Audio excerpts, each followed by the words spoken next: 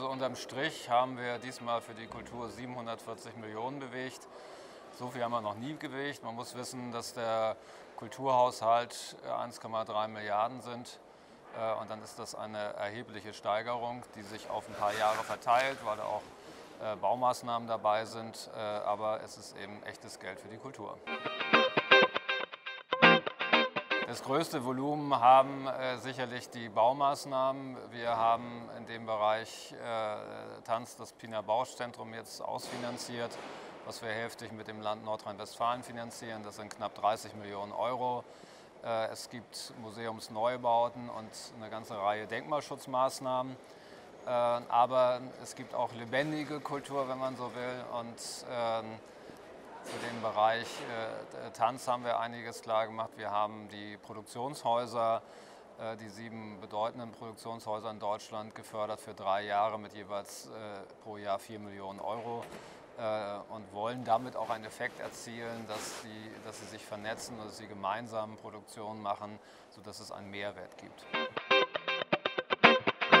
Also bisher war es ja immer so, dass wir äh, begründet haben, dass Kultur die günstigste Werbemaßnahme ist, äh, die es gibt für unser Land.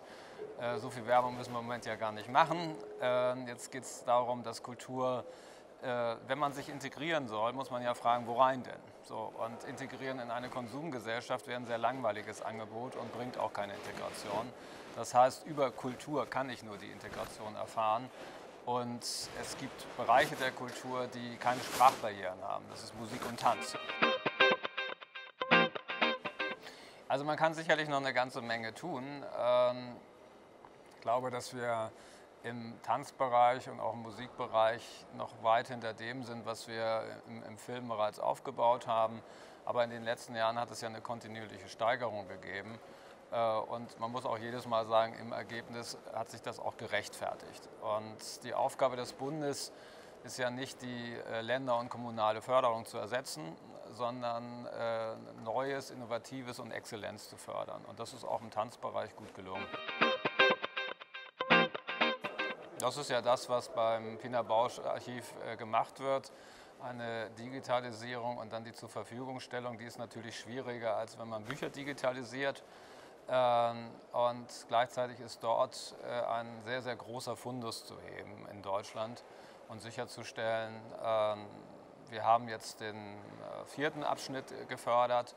Das heißt, wir gehen davon aus, dass beim Pina Bausch Archiv äh, danach das Parlament zumindest nicht mehr initiativ werden muss. Und dann auch natürlich mit dem Impuls, dass wir das Zentrum bauen, dass es dann in eine Regelförderung übergeht. Es geht gar nicht mal darum, dass mich irgendwas begeistert, weil äh, das Spektrum ist so breit, äh, sondern äh, was mir wichtig ist, äh, dass wir die, äh, die Kreativität fördern. So, und ähm, Tanz ist eine geniale Ausdrucksform, genauso wie Musik. Und äh, von daher wäre es schade, wenn nur wenig Menschen damit in Berührung kommen.